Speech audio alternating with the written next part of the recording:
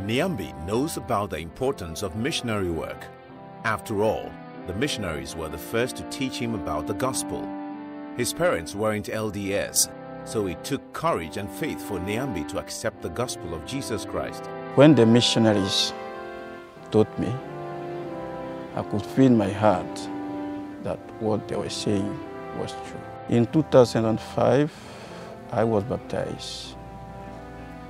Two years later, I decided to serve a mission. Because he was the oldest son and his father wasn't a member, Niambi didn't have an example at home to follow.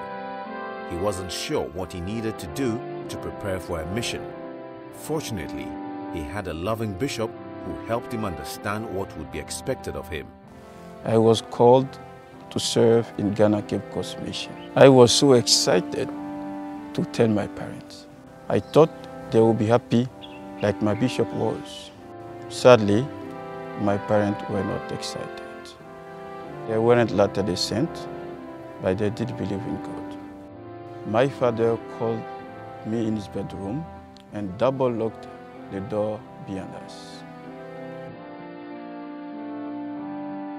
He said, you are leaving school and giving up your internship for a mission, and it doesn't even pay salary, I will no longer be your father. Somehow, I felt calm, and a voice kept saying to me, your father loves you deeply. I felt like I should ask my dad if he knew that God lives and loves his children. He said yes, so I said to him, as sure as God lives, I'll go on mission and I will always be your son. Moving forward with faith in every footstep, Niambi left for his two-year mission. Upon completing his first year, he was reassigned to a new area. He flew from Lome to Abidjan. When he arrived at the airport, he was surprised to see his father and two of his brothers. I could hardly believe it. My father had me and said, My son, you are always welcome. Thank you for showing such courage. That's when I realized that it's the Lord reassured me by saying, Your father loves you deeply. Niambi has long completed his mission and currently serving as a bishop in his ward. In Ivory Coast, he feels so blessed to have had the opportunity to serve a mission. My mission have really blessed my life. Now I can say that I'm a better father, a better leader of the church, and also a better husband to my wife. One of the things that the mission teaches me is the time management. It teaches me how to manage well my time and also how to be focused on this, let's say, specific things that can help each of us to be close to our Lord Jesus Christ. And it teaches me also how to help people to be more faithful and to follow the gospel of Jesus Christ. Yeah, the decision to serve a mission was not easy for me when I decided to go on mission. But fortunately, my bishop at this time was a very good man.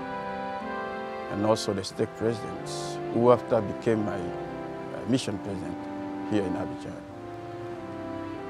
My bishop some of the time calls me and advised me how to maybe overcome some of the challenges that I was facing, like uh, the challenges with my father, who wanted me to continue my studies and then uh, also uh, go ahead and find a work to help the family instead going on mission. To the parents, my advice is that they should have uh, confidence on their children. It will help them to be what the Lord wants them to be, not what we as a parent we want them to be. Just like the Lord gave the stripling warriors courage and prepared the way, I know He prepared a way for me to serve a mission. It took many miracles, and with God, all things are possible. I'm a better person, a better father, a better husband now because I've served a mission.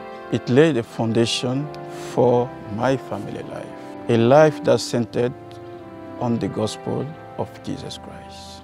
I wouldn't have it any other way.